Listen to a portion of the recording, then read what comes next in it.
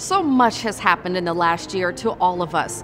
Yet another thing that has returned to normal here at the hospital the volunteers. They're here with smiling faces, ready to greet you as soon as you get here. This is Healthy Lifestyles, presented by East Jefferson General Hospital. Exciting news here at East Jefferson. Um, as of December, we were able to start slowly bringing back a lot of our volunteers very safely. Um, we were able to give them all a new in service on COVID protocols. Um, another small group came back in January, and we're up to about 50 volunteers now in the in the facility.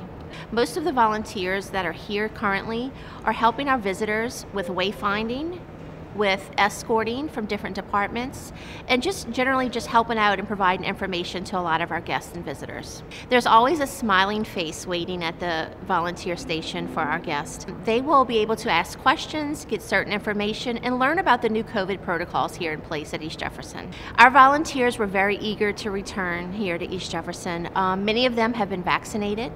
Um, they love East Jefferson. They were ready to return to these halls and work alongside staff greet visitors, um, give patients that encouragement they look for when they enter these doors.